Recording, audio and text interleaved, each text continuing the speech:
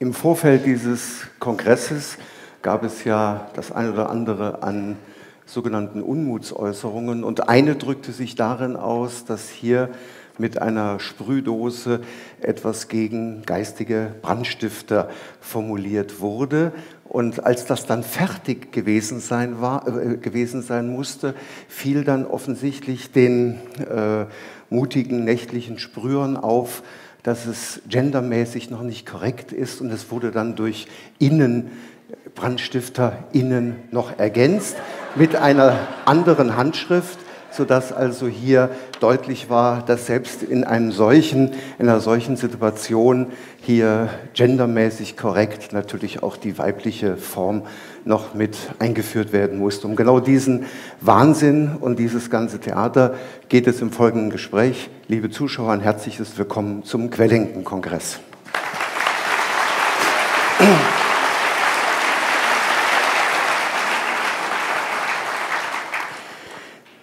Die Geschichte dieser Genderpolitik ist ja schon relativ alt. Es ist ja ein langes Programm. Wann hat denn das angefangen?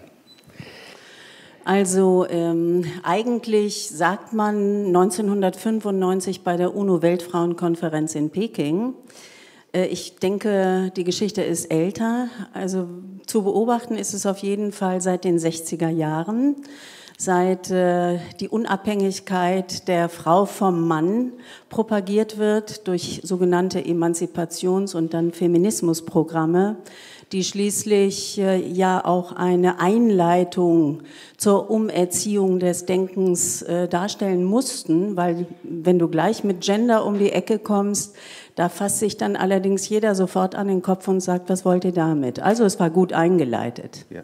Also ein Langzeitprogramm, äh, du sagst die Unabhängigkeit des Frau, der Frau von dem Mann. Ähm, ist das das ausschließliche Ziel, also selbstständige, unabhängige Frauen. Das hatten wir schon bei den Germanen, bei den germanischen Priesterinnen. Das ist nicht nur nichts Negatives, sondern ganz im Gegenteil. Klingt jetzt zunächst mal doch ausgesprochen gut. Ja, genau. Also das ist das Programm, das ist die Ach, ja, Verführung kann man sagen. Ne? Das ist das Wording, wie man ja in Neudeutsch sagt, äh, womit man den Frauen ein Gefühl der Unabhängigkeit vermitteln möchte, ihnen zeigen möchte, dass sie praktisch zu allem fähig sind. Das sind Frauen übrigens auch, also zu fast allem, eben wenn es dann äh, um...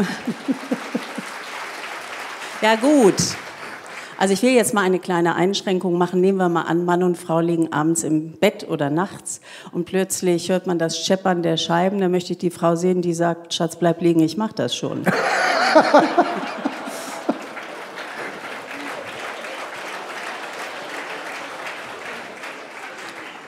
Du warst aber dabei, das zu sagen, fast zu allem fähig, klar. Also insofern klingt es ja erstmal gut. Ja, ja, also das ist natürlich das Programm, äh, mit dem man versucht, den Frauen klarzumachen, dass sie jetzt einen neuen Weg einschlagen sollten. Ähm, gleichzeitig wurde in den 60er Jahren, da wurde ja bereits auch Ende der 60er Jahre unsere Cheffeministin Alice Schwarzer installiert ich sage mal ganz vorsätzlich installiert, denn äh, danach sieht es aus, dass das nicht alleine ihr innerster Kern war, der gesagt hat, ich will die Welt ändern. Natürlich sind das immer solche Leute, die man für solche Umprogrammierungen einer Gesellschaft braucht, die selbst für das Thema stehen, aber als sie vor wenigen Jahren in die Schlagzeilen geraten war, weil sie fast acht Millionen D-Mark in den 80er Jahren über die Grenze in die Schweiz gebracht hatte. Da musste man sich natürlich fragen, woher das Geld kam. Und, äh, Und warum sie nicht dasselbe Schicksal wie Uli Hoeneß erlitten hat. Ganz genau. Ja.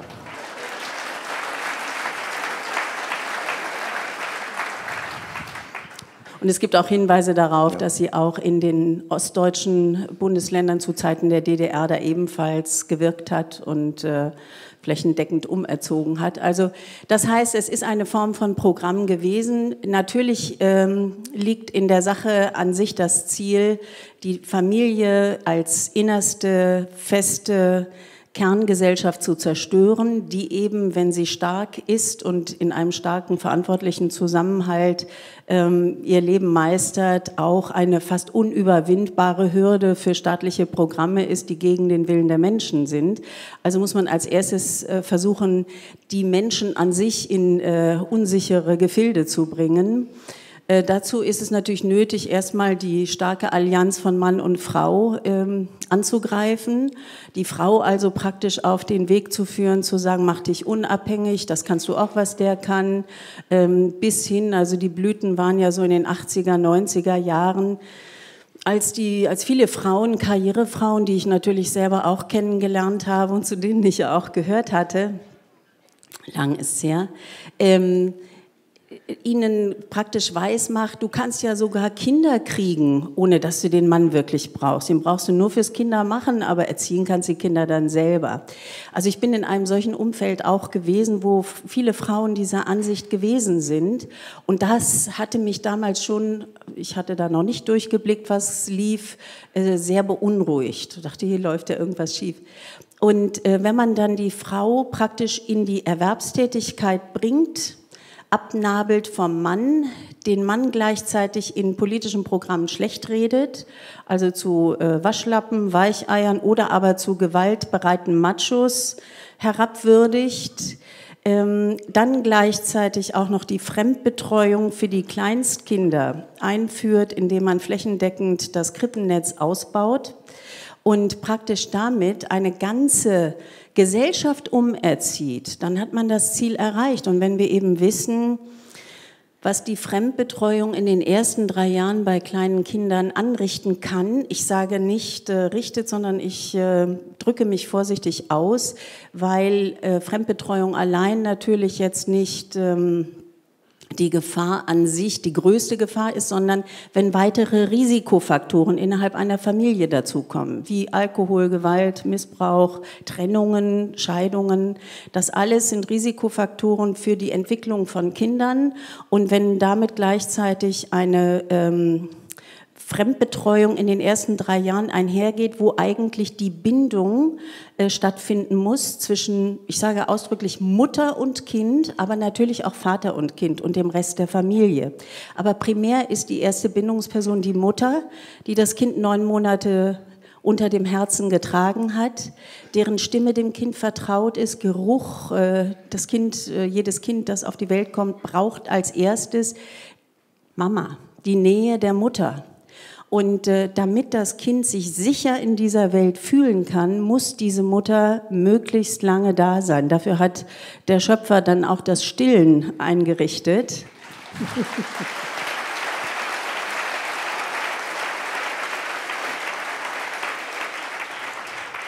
Das also eine, äh, mein Lieblingsthema eigentlich ist, das weißt du, Michael.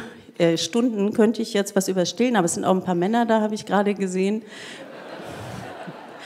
Und, ähm, Die obwohl, hören da auch gern zu. Ja, es, es geht euch auch alle an. Aber gut, äh, jetzt können wir auch nichts mehr machen. Das ist jetzt bei euch auch vorbei mit dem Stillen. Aber, aber es geht natürlich um die, äh, um die folgenden Generationen. Und ähm, wenn wir wissen, ähm, dass das Stillen beispielsweise die optimalste Körpernähe zwischen Mutter und Kind darstellt, dass also die Natur äh, alles maßgenau eingerichtet hat, bis hin zu der Entfernung des Blicks der Mutter zu dem Kind während des Stillvorgangs, welcher der optimalste ist, damit das Kind, während es trinkt, die Kommunikation mit der Mutter lernt Mutter ist die erste Kommunikationsform. Und wenn diese Kommunikation optimal läuft, dann ist das Kind in der Lage, auch mit einem gut möglichen Maß an Kommunikationsfähigkeit ins Leben zu gehen. Aber nicht nur die Kommunikation, es ist die Bindung, die hier begründet wird bis an den Rest des Lebens. Und zwar nicht nur zur Mutter, die Mutter zum Beispiel, die die gute Bindung herstellt, wird in aller Regel nicht irgendwann alleine im Seniorenheim äh, vergammeln, während die hm. Kinder äh, abwesend sind, sondern die Kinder werden sich kümmern, weil eine Bindung da ist aber auch ein Bindungsverhalten zu anderen Menschen, zur eigenen Familie, zum Partner, zu den eigenen Kindern, um wieder günstigste Bindungsmöglichkeiten aufzubauen. Das heißt also, dieses Bindungssystem, ähm, welches uns auch wieder die Natur schenkt, äh, wird mit diesen politischen Programmen von Gender, deren Vorprogramme Emanzipation und Feminismus heißen, zerstört. Noch etwas ist mir wichtig in diesem Zusammenhang zu sagen. Ähm, ein Kind, das auf die Welt kommt, braucht also in allererster Linie als Bindungsperson die Mutter, in zweiter Linie gleichbedeutend wichtig den Vater, den es möglichst als anwesend abends nach Hause kommt, am Wochenende da sein und so weiter, wahrnimmt, der auch äh, im günstigsten Fall in der Lage sein soll, die Familie ernähren zu können, was eben auch durch unsere ganzen steuerlichen und Sozialgesetze verändert wurde, dahingehend, dass dies in aller Regel nicht mehr möglich ist und die Frauen gezwungen werden in die Erwerbstätigkeit. Gleichzeitig werden Tausende übrigens für Kita-Plätze äh, pro Monat ausgegeben. Ich frage mich, warum man das Geld den Frauen nicht gibt, wenigstens nur die Hälfte von diesen Tausenden.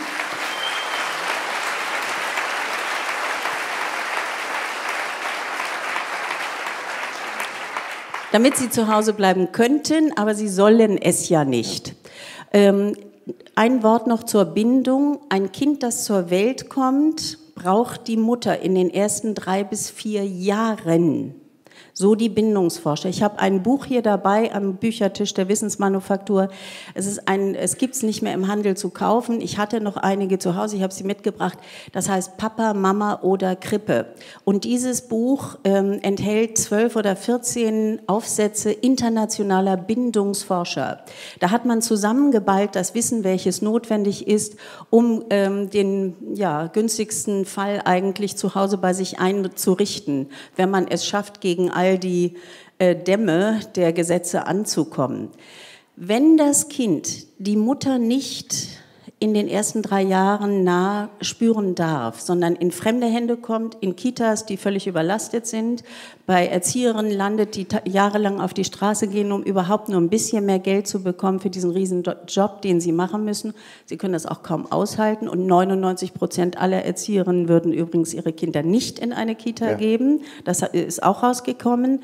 Ähm, ein Kind, das äh, diese Bindung zur Mutter nicht haben darf, lernt, dass das innere Bedürfnis, das Bedürfnis ist Mama, ein natürliches Bedürfnis, es ist kein individuelles. Das heißt, äh, das Kind lernt, wenn Mama nicht da ist und ich irgendwo abgegeben werde, dass mein Bedürfnis nicht richtig ist. Nächster Schritt des unbewussten Denkvorgangs, ich bin nicht richtig. Wenn ich mit der Botschaft ins Leben starte, ich bin nicht richtig, kann man sich vorstellen, wie es mit dem Selbstbewusstsein aussehen wird. Dass wir heute die Praxen voll haben mit Menschen mit Depressionen, Burnout heißt, es gibt's jetzt nicht mehr so viel, jetzt sind es wieder die Depressionen, aber Phobien und Panikattacken, dann wissen wir, all das sind Symptome, die auf eine innere, unsichere und instabile Lage äh, hinweisen. Wenn ein Kind diese Bindung zur Mama haben darf, lernt es, mein Bedürfnis ist offenbar richtig, es wird erfüllt, also bin ich richtig. Und wenn jemand richtig ist und sich richtig fühlt, dann steht er ganz anders in dieser Welt, nämlich mit beiden Beinen im Urvertrauen, was ich jedem Menschen wünsche, was ich aber auch jeder Regierung wünsche und jedem Staat wünsche und der ganzen Welt wünsche, nämlich autonome, autarke, eigenständig denkende und handelnde Personen. Ja.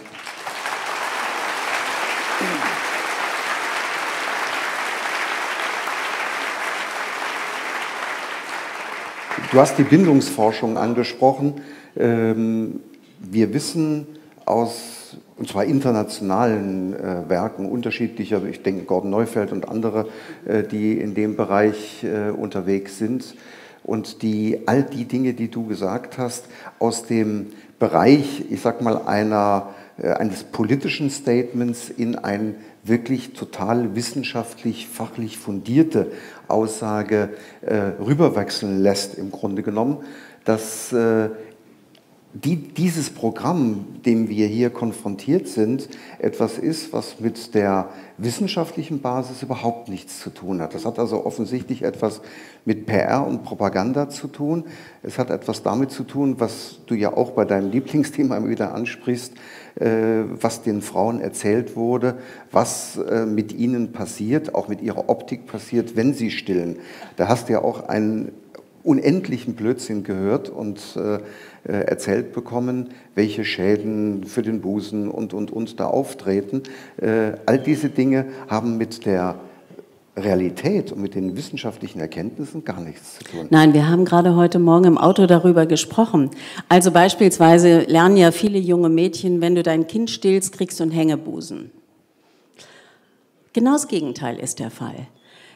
Der Schwangerschaftsvorgang verändert natürlich die Brust, das ist klar, die füllt sich mit Milch. Aber äh, in dem Moment, wo das Kind angelegt wird und anfängt zu saugen an der Brust, spürt auch jede Mutter, die stillt, äh, spürt sie die Bewegung innen, übrigens auch im Unterleib. Das sind Rückbildungsmaßnahmen, die auch der Schöpfer gnadenvoll eingerichtet hat. Und wenn wir denn unser Kind lange genug stillen, und was heißt lange genug in dem Fall, auch das ist sehr individuell. Es gibt Kinder, die wollen gar nicht länger als drei Jahre gestillt werden. Aber wenn wir heute die WHO, und ich weise auf die WHO hin, wo ich also auch immer meine äh, Zweifel habe, aber selbst wenn die noch empfehlen zwei Jahre Stilldauer, weil sie es empfehlen müssen, weil es einfach das Beste für ein Kind ist, dann äh, können wir uns ungefähr ausrechnen, wo die optimale äh, Stilldauer liegt. Also wenn eine Frau ihr Kind lange stillt, das kann auch ein halbes Jahr oder ein Jahr sein, dann kann sie davon ausgehen, dass sich das alles relativ gut wieder zurechtrückt. Eine Frau, die in ihrem Leben zwei Jahre gestillt hat, ein oder mehrere Kinder, senkt ihr Brust- und Unterleibskrebsrisiko äh, auf äh, um mindestens 50 Prozent. Ein Kind, das ein Jahr gestillt wurde, hat noch ein Adipositas-Risiko, also ein, äh, schwer, äh, ein Fettleibigkeits-, Übergewichtsrisiko ja, ja. von ähm, minimalen Prozent. Also was bedeutet, es gibt eine Million Vorteile Kinder übrigens werden auch schöner, weil sie arbeiten müssen beim Stillen und die Gesichtsmuskulatur sich gut entwickelt. Wir bräuchten keine Kieferspangen mehr für die Kinder, weil der Kiefer sich dahin recht äh, zurechtrückt, wo er hin soll. Die, äh, ne, jeder Entwurf eines Menschen entspricht einem Plan, kann man sich gar nicht vorstellen, ist aber so. Und der Kiefer hat eine, muss in eine gewisse optimale ähm, ähm, Position kommen und das geschieht durch das Stillen. Mal abgesehen von den ganzen inhaltlichen Stoffen bis hin zu Schutzstoffen, also wenn ein Kind im Schmutz wühlt und was isst, äh, Schmutz isst oder so, und geht dann mit dem Mäulchen wieder an die Mamabrust, dann nimmt die Haut der Mutter diesen Schmutz auf und der Körper arbeitet eine Art natürliches Antibiotikum äh, aus und mit dem nächsten Stillvorgang bekommt das Kind das natürliche Antibiotikum. Ist das nicht alles fantastisch?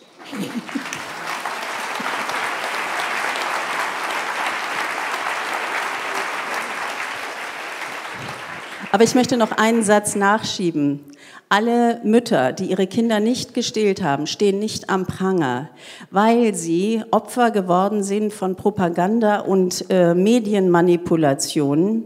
Und ich weiß auch, dass viele Wissenschaftler diese Arbeiten gar nicht mehr veröffentlichen und veröffentlichen dürfen, äh, weil sie ansonsten keine Zuwendung mehr für ihre Hochschulen und Universitäten bekommen und ihre Institute.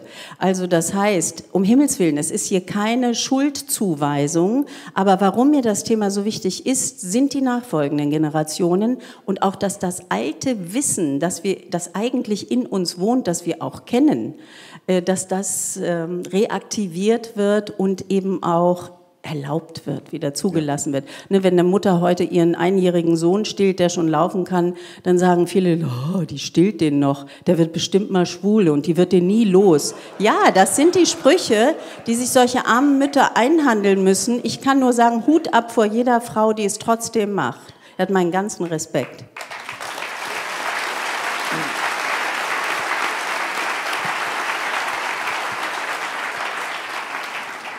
Wenn diese Vorschläge oder diese politischen Programme mit der an sich bekannten fachlichen ähm, Notwendigkeit, wie lange ein Kind oder eine Mutter-Kind-Bindung äh, so eng sein muss, wie sie für das Kind in einer optimalen Form dann nachher auch wirklich stattfinden soll. Wenn man das alles weiß und wenn das Ganze letztendlich äh, gegen wissenschaftliche Erkenntnisse und gegen das, was äh, ja, ich sag mal, von der äh, seit, seit Hunderten oder Tausenden von Generationen von der Menschheit als Wissen sowieso schon mitgetragen wurde, dann stellt, man natürlich, stellt sich natürlich die Frage, was ist das eigentliche politische Ziel gewesen, ein solches erst Feminismus, Emanzipation, das waren ja diese verschiedenen Etappen, von denen du äh, gesprochen hast, bis hin jetzt eben äh, der völligen Ausprägung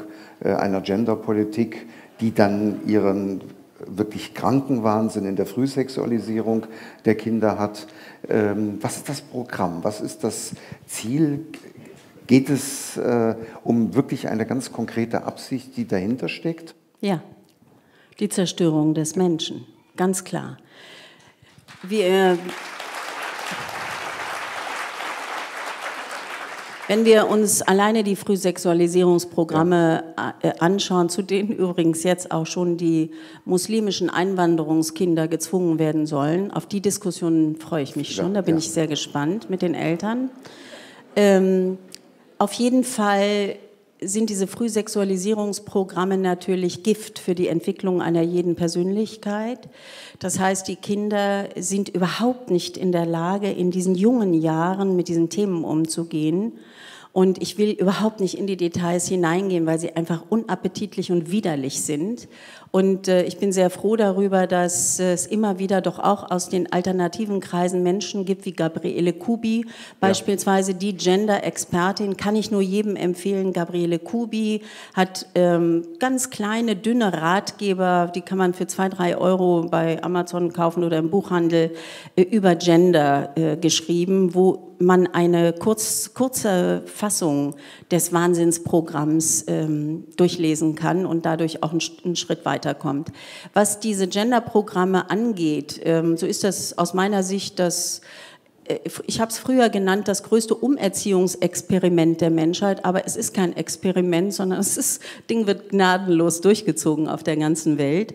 Und man will halt den Menschen jetzt weismachen mit Gender, dass es das Geschlecht Mann und Frau an sich gar nicht gibt, sondern dass, äh, dass es ganz viele Geschlechter gibt, Mann, Frau, das gibt ja jetzt schon Pässe in asiatischen Ländern, ja. da stehen nicht zwei, äh, sondern fünf äh, Geschlechter drin, da heißt das auch nicht äh, Sex, also Geschlecht, sondern Gender, und das ist ja männlich, weiblich, homosexuell, bisexuell, transgender, metrogender, die Liste, mit der die UN und auch äh, das Europaparlament arbeitet, hatte bis vor kurzem 26 Positionen von Möglichkeiten, was es alles gibt. Dazu kommt äh, Nekrophilie und ähm, Sodomie und leider auch Pädophilie, womit man also versucht, weil man diese Punkte ins Grundgesetz hineinkriegen will, auch die Pädophilie wieder über die Hintertür reinzukriegen.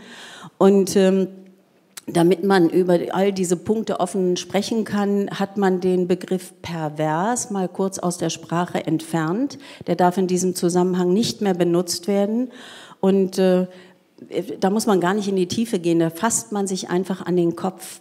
Und wenn man sich vorstellt, dass also mit Gender unsere Welt praktisch auch wieder verändert werden soll, dahingehend, dass man sagt, ein Kind kommt auf die Welt und ist eben weder männlich noch weiblich, sondern es ist einfach ein Genderkind und es kann sich heute als Mädchen fühlen, dann darf es sich als Mädchen outen und aber wenn es morgen anders ist und es sich jetzt ganz äh, männlich fühlt, dann ist es eben ein Junge. Dann gibt es diese Gender-Kindergärten beispielsweise, wo, äh, wie heißen die, Fun and Care in Fun Österreich, ja, ja.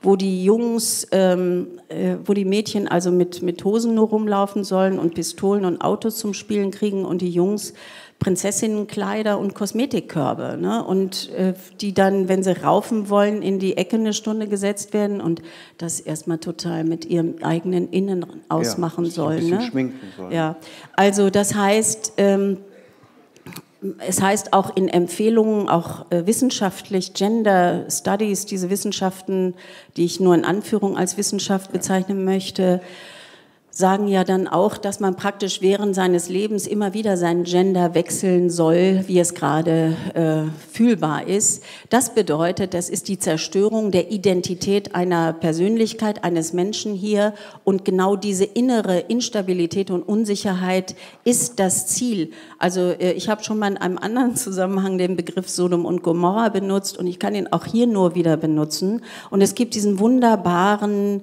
ähm, Soziologen aus Norwegen, den Norbert Eyer, EIA, geschrieben. Bitte im Internet bei YouTube nachschauen. Der hat ähm, die Gender Studies in Norwegen, mhm. wo es auch blühte, äh, hat er unter die Lupe genommen und hat einen langen Film davon gemacht, der dann dazu führte, dass dieses ganze Gender-Getue eingestampft wurde. Es gibt kein Gender-Institut mehr, es gibt auch keine Steuergelder in Norwegen mehr für Gender, weil er es auf den Punkt gebracht hat. Wer sich dafür interessiert, bitte anschauen. Ja.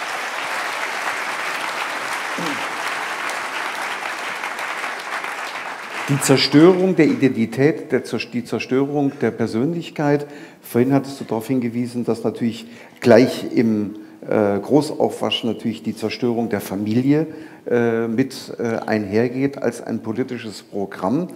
Das Ganze kann ja nur funktionieren, wenn es also wissenschaftsfern oder unwissenschaftlich nach den klassischen Regeln, nach denen auch diese Schulwissenschaft arbeitet, ist, also die Dinge ignoriert, die erforscht wurden, wenn das Ganze entsprechend medial begleitet wurde. Also ohne eine mediale Unterstützung wäre so ein Wahnsinnsprogramm äh, nicht möglich gewesen, setzt, und damit sind wir, ich sag mal, bei der Auswirkung oder der Konsequenz einer solchen äh, Entwicklung setzt ja voraus, dass wir ein Mediensystem haben, das äh, mit einer wirklichen freien Presse nichts zu tun hat. Und auch das hat ja einen ganz frühen Anfang. Ja, der Anfang ist eigentlich noch viel früher gewesen, als man es heute ähm, sich vorstellen kann. Aber wie Andreas Popp es gestern sagte, da habt ihr gesprochen über ähm, den Plan B und habt auch darüber gesprochen, das hat auch Rico Albrecht letzte Woche schön bei dem Kongress in Walsrode klar gemacht, dass es praktisch ja wenn es um die Arbeit des sogenannten Staates geht und um ähm, das Volk oder die Bevölkerung oder die Menschen, dass das nicht das ganze Konstrukt ist, sondern dass es einen Überbau gibt. Und dieser Überbau ist ähm, über Regierung, über sogenanntem Staat sind die Medien. Und darüber ist dann das große Kapital Sammelbecken. Das heißt also, von oben wird orchestriert über die Medien in die Gesellschaft hinein, wie die Programme laufen. Und das sind überhaupt keine Geheimnisse, dass auch die Chefredakteure großer Sender oder großer Zeitungen noch groß ähm, immer wieder regelmäßig eingeladen zunehmend abnehmend groß. Ja, ja.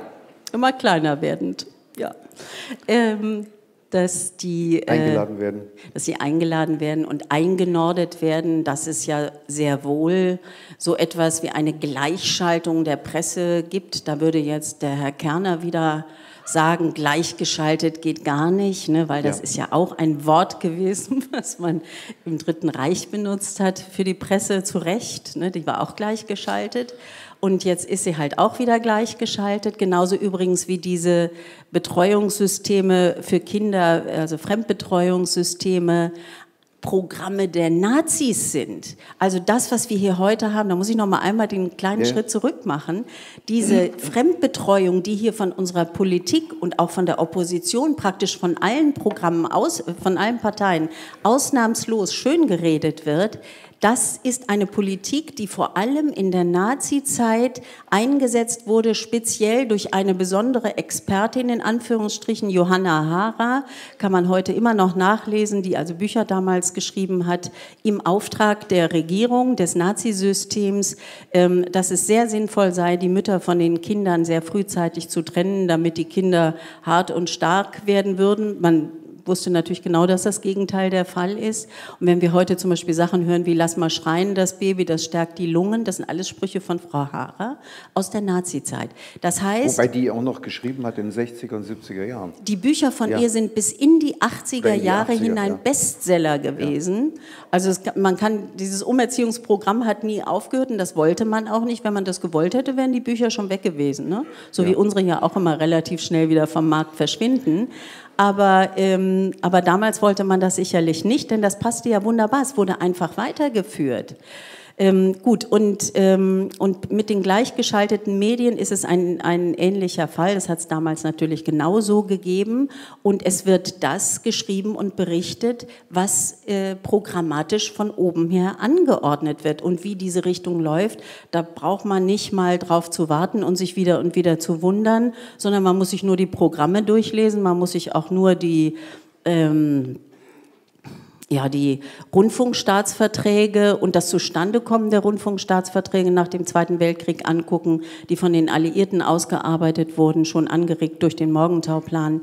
Ähm, das heißt, da ist genau festgelegt, dass eben NATO, also NATO freundlich berichtet werden muss, dass Israel freundlich berichtet werden muss, dass in jüngster Zeit Euro freundlich berichtet und EU freundlich berichtet werden muss. Alles andere darf gar nicht sein. Ich meine, bei, bei ähm, ähm, manchen äh, Tageszeitungen beziehungsweise Verlagen muss man explizit unterschreiben, dass nur Israel freundlich berichtet wird. Ich denke schon, also dass das Anlass zur Sorge gibt und man überlegen muss, wie objektiv sind die Nachrichten. Und wenn jetzt Programme wie Gender beschlossen werden, ja, dann werden die halt von den Medien durchgezogen. Und exekutiert. Jetzt könnte man natürlich sagen, gut, äh, die Lizenzpresse, wie sie nach dem Ende des Zweiten Weltkrieges von den Alliierten eingeführt wurde, in etwas anderen Form, aber letztendlich nahezu identisch in der DDR ja ganz genauso, äh, ist eine Siegermaßnahme gewesen, aber inzwischen sind ja Springer, Stern, Fokus und all die anderen unabhängige Medien. Da sitzt ja kein amerikanischer äh, Aufseher mehr und sagt dem Chefredakteur, du musst das und das und das machen. Haben die, die äh, den Siegerwillen inzwischen so inhaliert, dass das gar keine ähm, direkten Befehle mehr braucht? Also erstmal ja, natürlich. Es, die Umerziehung hat fantastisch ja. funktioniert. Die Umerziehung funktioniert übrigens nicht nur bei den Journalisten, sondern die funktioniert ja bei allen. Also nicht bei allen, aber bei so ziemlich allen Menschen. Wenn ich mir ansehe, dass also seit Ende des Zweiten Weltkrieges die stetig wiederholenden Fernseh-, Radio-, Zeitungsberichte äh, über die Schuld der Deutschen ähm, gebetsmühlenartig in unsere Gewissen eingehen. Nochmal, also äh, man kann ja über die deutsche Geschichte ruhig sprechen, man sollte dann aber auch von allen Seiten sprechen dürfen und beleuchten dürfen. Und vor allem kann ich jetzt zum Beispiel sagen, ich habe nicht im Zweiten Weltkrieg gelebt, ich habe mich daran nicht beteiligt. Also irgendwann möchte ich auch mal meinen Kopf wieder rausstecken dürfen.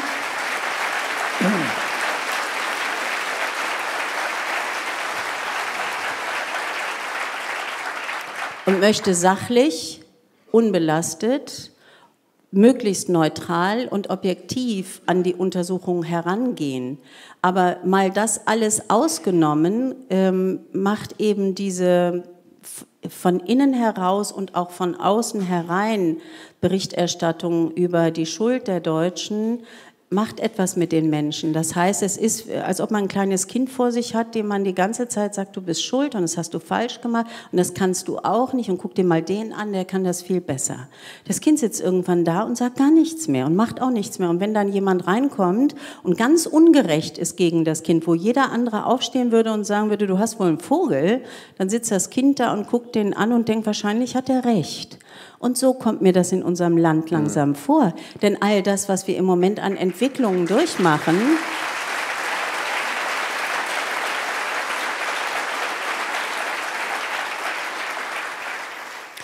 wird vielerorts noch hingenommen.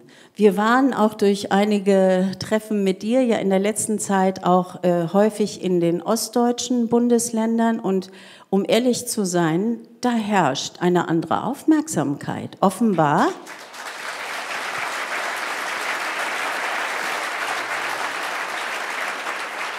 offenbar durch 40 Jahre äh, des äh, direkt ähm, vor, vor ihnen stehenden Feindes, den sie ja nun auch erkannten und spürten jedenfalls die Unfreiheit, meine ich damit. Und da wusste man eben, wenn der Schwarze Kanal losging, dass, äh, dass man das einzuschätzen wusste, was da berichtet wurde. Aber wenn heute die Tagesschau um 8 Uhr losgeht, ich war auch mal dabei. ah, ähm, oder, oder die Heute-Sendung. Ja, es tut mir wirklich leid. Ich, ich bin echt spät aufgewacht. Ich habe ich hab neulich, das weißt du noch gar nicht, ich habe neulich meinen ehemaligen Chefredakteur der Tagesschau angeschrieben, Herrn Gnifke. Und ähm, ich erzähle das jetzt hier, wir sind ja unter uns, wird ja auch nicht ausgestrahlt.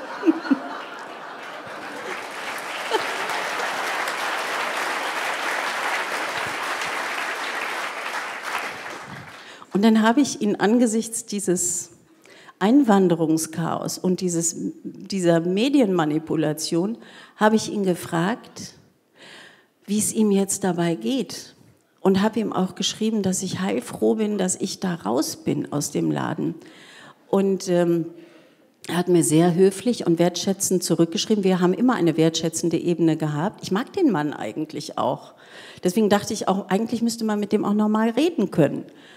Ähm, und er hat dann äh, zurückgeschrieben und hat so an die alten Kollegen der Redakteure bei der Tagesschau erinnert, die in der Tat auch alle nett waren und dass also in deren Geiste die Tagesschau weiter, ähm, weiter gearbeitet würde und dass er sehr stolz darauf sei, bei der Tagesschau arbeiten zu dürfen.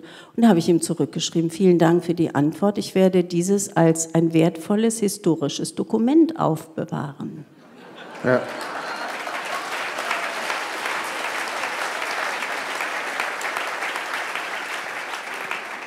Wir waren bei den. Entschuldigung. Na, es, es ist ja, man ist, man ist ja bei solchen äh, Reaktionen oft einfach auch nur noch sprachlos.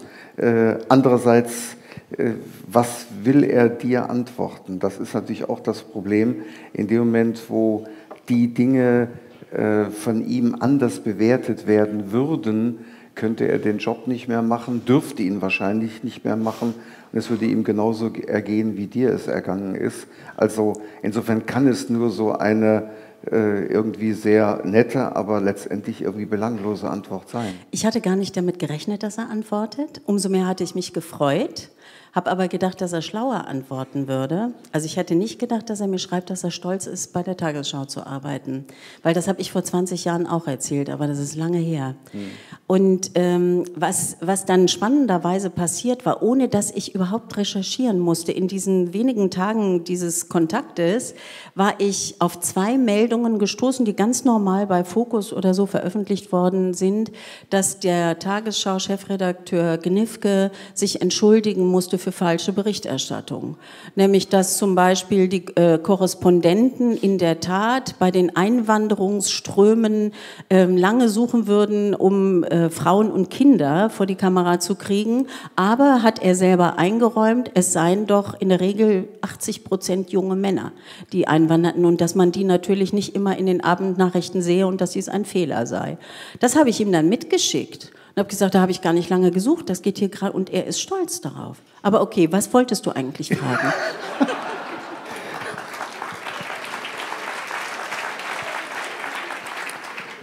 Ich wollte nur sagen, dass es, oder habe gesagt, dass es mich nicht wundert, dass es eine so äh, eher, ja, ich sag mal, weiche oder belanglose Antwort ist. Natürlich ist es, äh, dass er sich dazu in einer Zeit bekennt, wo du mal eben nebenbei feststellst, dass selbst der Mainstream, diesen Mainstream von mit äh, Fehlern oder einer schrägen Berichterstattung überführt, die ja zuhauf äh, dort stattfindet. Ich erinnere mich an Berichterstattungen, wo die Tagesschau und Heute Journal im Abstand von einer Viertelstunde äh, dasselbe Attentat und dieselben Bilder einmal nach Syrien gelegt haben, einmal nach Afghanistan gelegt haben. Es sind aber die völlig identischen Bilder gewesen. Also einer von diesen beiden Qualitätsmedien hat ja dann schlecht recherchiert. Vielleicht war es die Tagesschau, vielleicht waren es beide, vielleicht war es weder Kabul noch Homs, das weiß man heute nicht. Insofern äh, ist es natürlich mit dem Stolz dann schon ein bisschen schwierig. Ja, die sind schon arm dran da, das stimmt. wir waren bei dem äh, Thema Medien. Also wir haben sicherlich irgendwo eine Lizenzpresse, das ist klar. Eine Presse, die auch gar nicht anders kann. Ein Land ist besetzt. Die Besatzer legen fest, wer äh, Chefredakteur wird, wer überhaupt Journalist werden darf, wer die Lizenz bekommt. Und das sind auch heute noch die ganz Großen, wie Bertelsmann, wie Springer, wie Burda, Bauer. Es sind also die, die auch heute noch als große Player äh, in der, in der Bundesrepublik das Sagen haben. Das Interessante oder das Spannende oder eigentlich auch das Traurige ist, dass sich daraus nicht dann eine wirklich freie Presse irgendwann mal entwickelt hat, sondern eine Presse, wenn man die Hierarchie, die Andreas ja immer wieder fest äh, beschreibt und, und, und äh, auch belegt, dass diese in der Umsetzung dessen, was das große Geld sich vorstellt, diese Medien auch ohne eine direkte Abhängigkeit, aber eben auch durch ein sehr geschicktes Vernetzen Atlantikbrücke und ähnliches ja. heute den Job machen, den sie machen sollen. Wir wissen ja gar nicht die ganzen Verbindungen. Ja. Wir können ja nur das bisschen von außen äh, äh, versuchen zusammenzubringen, was an Zusammenhängen da ist. Und die reichen bei weitem aus, um feststellen zu dürfen, die Presse ist nicht unabhängig, sie ist nicht neutral und sie berichtet vor allem in aller Regel auch nicht im Sinne der Bürger. Es, gibt eine, es gab eine Studie, die war 2011 veröffentlicht worden, äh, die Abwertung der anderen heißt diese Studie.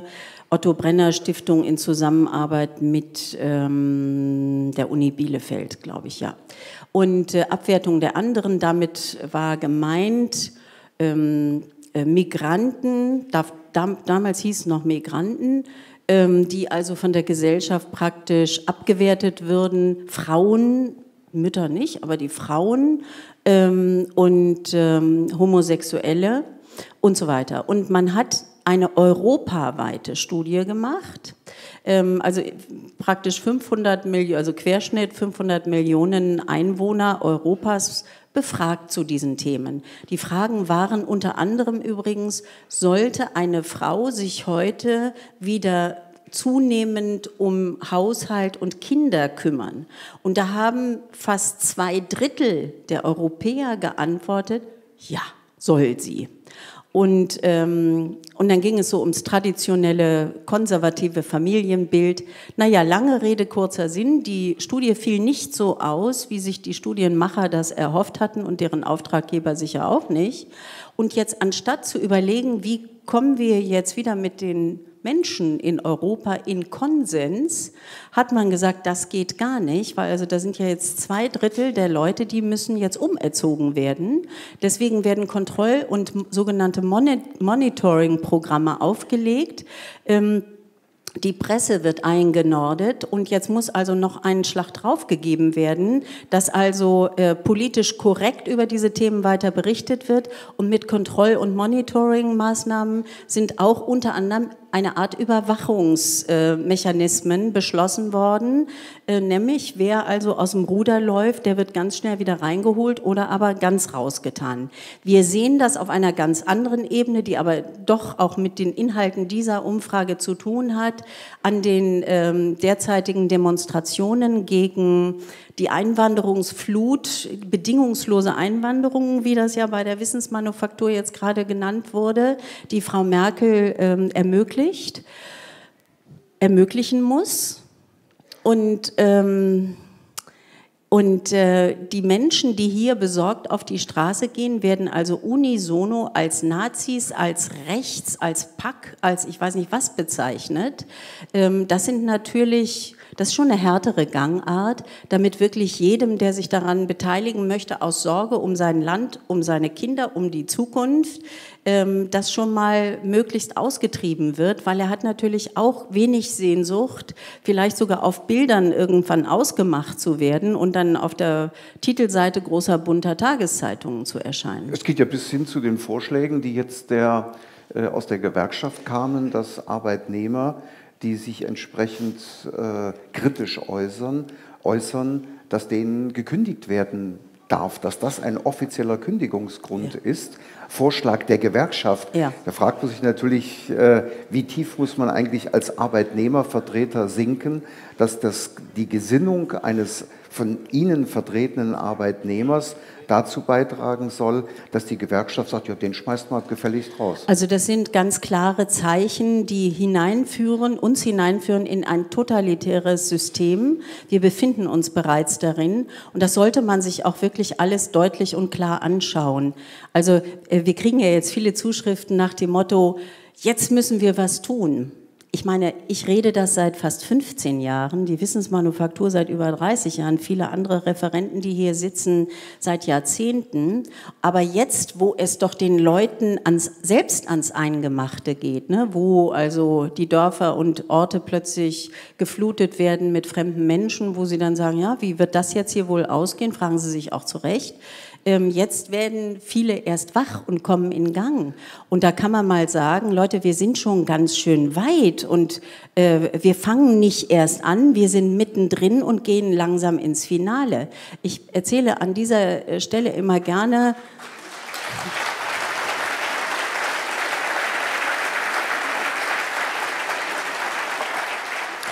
gerne die Geschichte. Haben wir noch ein bisschen? Ja, ja. Ja, okay. Äh, die Geschichte meiner Großmutter. Meine Großmutter war 1911 geboren und war äh, fröbelsche Kindererzieherin und hat als Kindermädchen bei der Familie, bei der jüdischen Familie Weiß in Berlin gearbeitet. Und die Familie Weiß, sehr wohlhabend, mehrere Kinder, die haben viele Abendgesellschaften gehabt und die Omi hat das Essen da abends auch immer mit aufgetragen.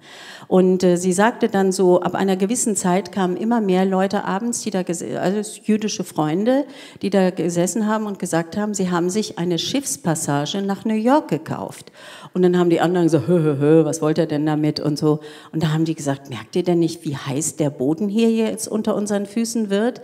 Naja, und sie sind verspottet worden und eines Tages klingelte es an der Tür und da waren die Männer mit den langen Ledermänteln und holten die Familie Weiß inklusive Kinder auf Nimmerwiedersehen ab. Und äh, die Omi sagt, sagte, bis, äh, bis sie starb 2007, hat sie mir das immer wieder gesagt und hat gesagt, Kind, die einzigen, die überlebt haben, waren die mit der Schiffspassage. Die haben rechtzeitig geschaut und deswegen musst du in deinem Leben immer die Augen offen behalten und die Vorgänge um dich herum genau betrachten.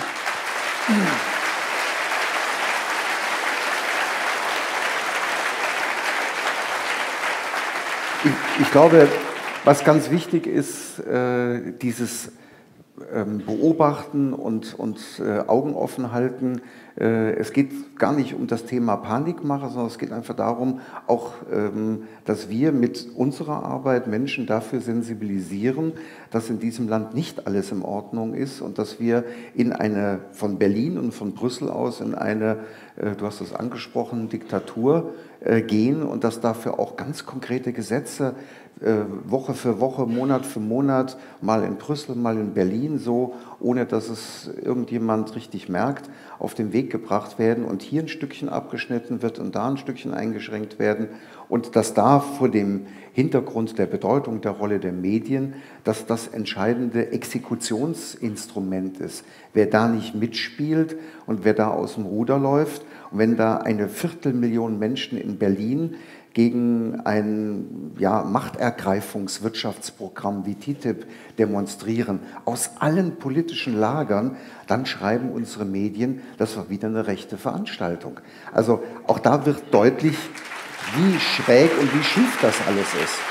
Also ich kann nur sagen, Ehrlich gesagt, wer heute als rechts bezeichnet wird von diesen Medien und von diesen Politikdarstellern, dem kann ich nur sagen, da bist du auf der richtigen, auf der rechten Seite, ne? Lass uns. Wir haben bei, den, bei dem Familienthema, bei dem Frauenthema, bei der Zerstörung der Identität von Jungen wie Mädchen, Männern wie Frauen ein Ziel gesehen? Gibt es hinter dieser Kombi, die wir einerseits mit dem medialen, ähm, ja, ich sag mal, Einnorden der Menschen und der Fortsetzung der Re-Education der Besatzer äh, und dem, was wir jetzt aktuell erleben, äh, ist das immer noch dieselbe Agenda? Gibt es da ein Oberziel, äh, das, das man irgendwie ausmachen kann? Was haben die mit uns vor? Also wenn ähm, damals die mit der Schiffspassage gesagt haben, dass ihnen der Boden unter den Füßen heiß wird, dann äh, ist das bei mir eine Empfindung, die bei mir so in der letzten Zeit immer wieder hochkriecht. Mir wird der Boden unter den Füßen heiß. Andreas hat es äh, gestern an dieser Stelle gesagt. Wie auf Zauberkommando wird plötzlich Deutschland in der ganzen Welt bloßgestellt. Ob das das Gift ist, das die VW-Ingenieure vorsätzlich in die Luft sprühen. Jetzt ist ja gerade schon veröffentlicht worden, dass schon so und so viele Menschen daran, eine, ne, eine Studie aus Amerika, 160 Leute schon gestorben sind durch diese äh, Giftgasausscheidungen der VWs. Also wir, ich bin auch VW-Fahrerin, wir sind dann wahrscheinlich künftig auch noch Mörder, weil wir diese Kisten fahren. Äh, dann die, ähm, die Deutsche Bank, die ja schon seit vielen Jahren äh, ihre roten Zahlen hat und ihre großen Probleme hat, die aber Deutsche Bank heißt eigentlich auch keine, keine Deutsche ist, Bank ja, ist, aber ja. in der Welt heißt es Deutsche Bank. German Wings, ich wiederhole das jetzt nochmal kurz, aber eben auch, äh, was mir große Sorge bereitet, was wir hier im Inland gar nicht mitbekommen, das Verhalten unserer Kanzlerin wird ja im Ausland ganz anders dokumentiert, als es hier der Fall ist. Nämlich da liest man, ob das die New York Times ist, ob das in, in Kanada Medien sind, in England die Medien und die Politiker, da liest man, dass Frau Merkel unverantwortlich handelt, dass sie Europa gefährdet.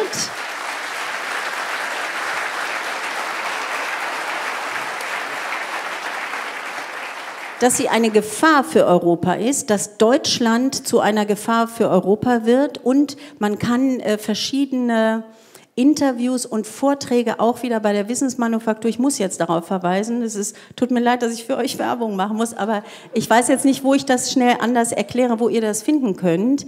Ähm, das ist unter YouTube findet man das bei Wissensmanufaktur ganz unten YouTube. Ähm, das ist zum Beispiel immer wieder, dass das unverantwortliche Handeln Frau Merkels, was das Thema Einwanderungspolitik und Gefährdung Europas angeht, offenbar, so wird es interpretiert, unmittelbar mit dem Schuldgefühl Deutschlands aus der, aus der Geschichte des Zweiten Weltkrieges zusammenhängen muss.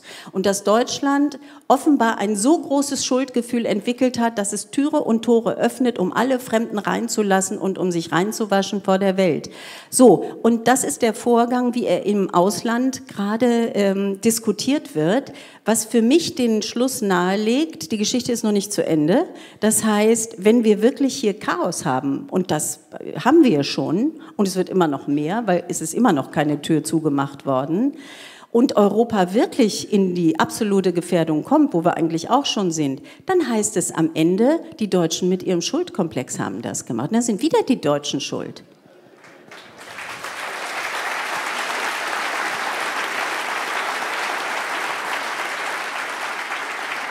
Wer auf dieses Thema, äh, was du jetzt gerade angesprochen hast, äh, sehr intelligent schon vor längerer Zeit mal hingewiesen hat, aktuell auch wieder hingewiesen hat, dass das äh, letztendlich eine Mischung aus dieser Schuldproblematik und einer Unterwürfigkeit unter die USA ist, ist Wladimir Putin, der vor ich glaube, es war zu einem der runden Jahrestage des, Ausbruchs des, des Ausbruchs des Zweiten Weltkrieges auch darauf hingewiesen hat, es kann nicht ewig sein, dass die nächste und nächste und nächste Generation, also schuldig sind ja jetzt auch unsere Enkel äh, und die Generation, die also bald ein Jahrhundert äh, nach dem Ende des Krieges aufgewachsen ist, dass man dieser immer noch diese Schuld vorhält. Also wenn man sich da mal so ein bisschen an äh, dem, was Russland, was wir aus Russland hören, orientieren würde, könnte man auch eine ganze Menge lernen. Ja, man kann auch eine Menge lernen. Wenn man sich die Geschichte anderer Länder und Kontinente ansieht, also wir sind ja öfter auch in Kanada und äh, wenn es da um die First Nation, um die Einheimischen, die Indianer geht, die Vernichtung, die vorsätzliche Vernichtung der Indianer und äh, Südamerika waren es Hunderte Millionen, merkwürdigerweise wird das in diesen Zusammenhängen nie erwähnt, sondern es ist immer nur diese eine, äh, dieses eine Land. Ich möchte damit nichts schmälern, betone ich mal hier politisch korrekt, aber, ähm, aber es muss doch stutzig machen. Wieso, ist, wieso macht es nicht stutzig, dass es immer nur wir sind? Und wieso macht es nicht stutzig, dass sich das im Moment, dass sich die Schlinge um unseren Hals zuzieht? Überall entstehen Kriege und die deutsche Verteidigungsminister steht im Kreuzfeuer wegen ihrer Doktorarbeit. Also ich meine, wie will die sich dann vor die Welt stellen und irgendwas verkünden, wenn da jeder steht und sagt, ne, das geht ja, Entschuldigung. Ähm, das, die Souveränität ist doch auch in diesem Fall untergraben. Und wenn ich an Omi denke, dann würde Omi sagen, Kind sei wachsam. Ja. Wenn man nach dem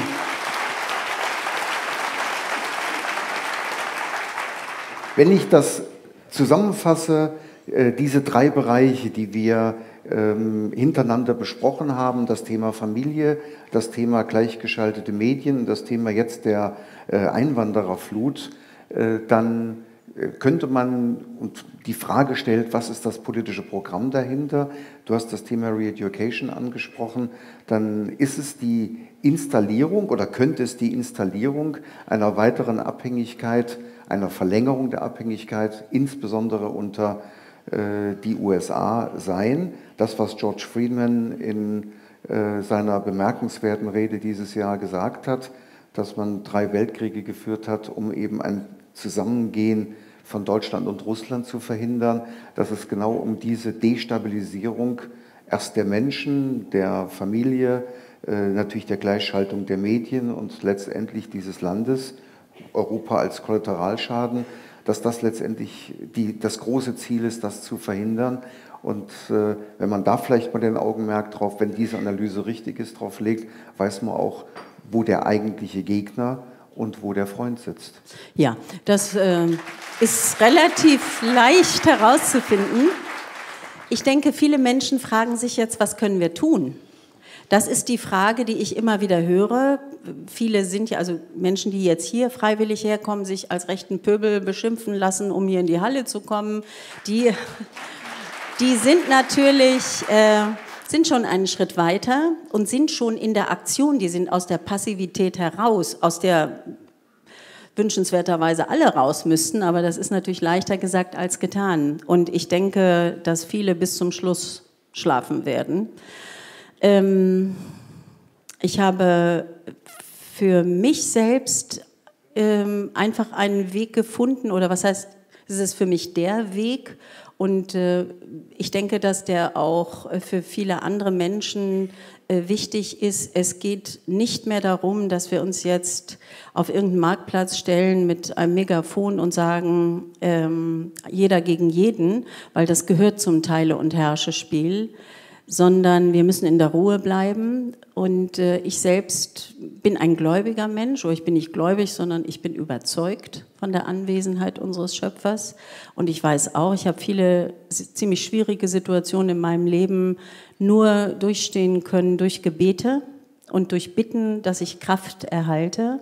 Und die habe ich immer bekommen. Also bei der Kerner-Sendung war ich nämlich auch nicht ganz allein. Da habe ich mir auch ein paar herbeigewünscht und die waren auch da. Sonst wäre ich wahrscheinlich da gestorben auf diesem Tribunalstuhl.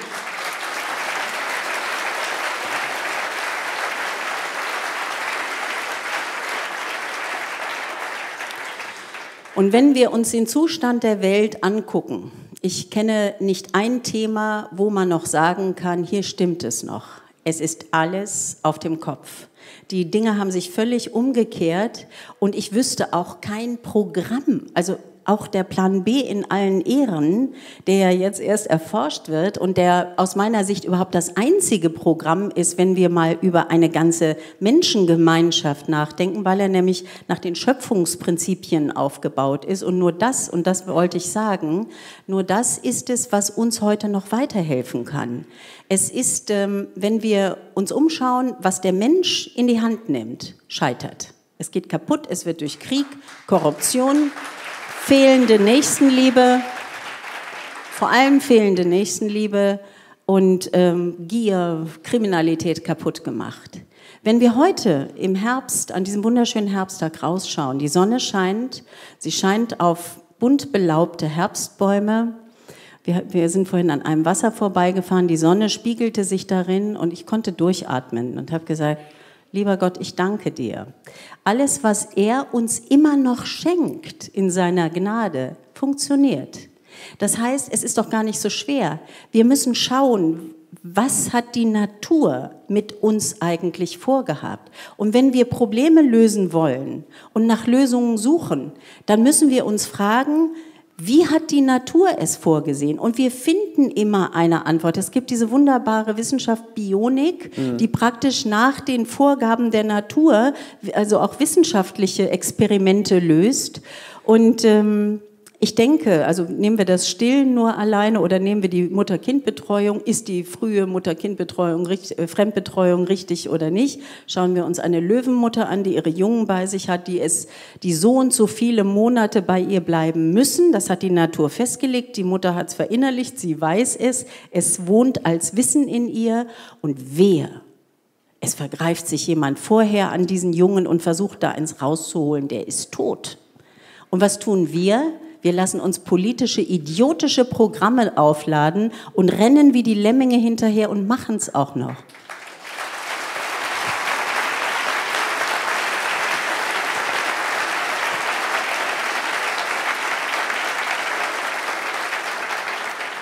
Ganz herzliches Dankeschön.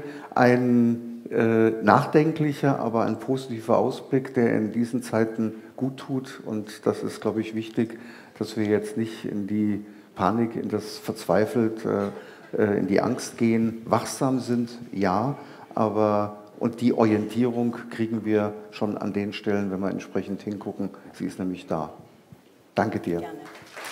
Danke. Danke.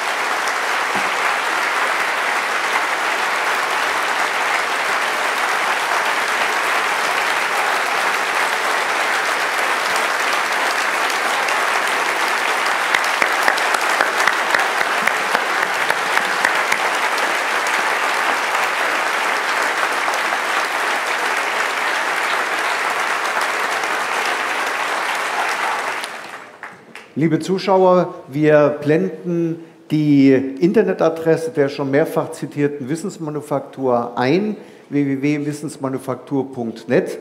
Äh, dort gibt es weitergehende Informationen. Wie immer für das Interesse und die Aufmerksamkeit ein herzliches Dankeschön. Tschüss und auf Wiedersehen. Bis zum nächsten Mal.